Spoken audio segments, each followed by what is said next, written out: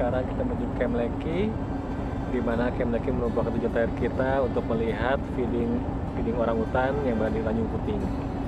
Setelah itu kita akan kembali menuju Pelabuhan Kumai.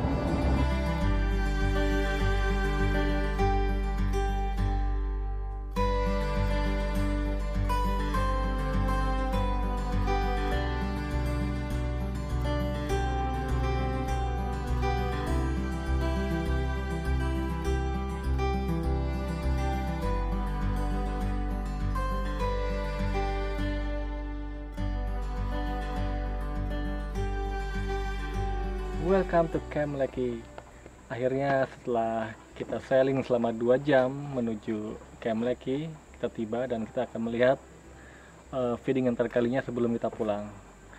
Nah, yuk kita ke dalam, kita lihat apa yang kita temukan di dalam. Enjoy!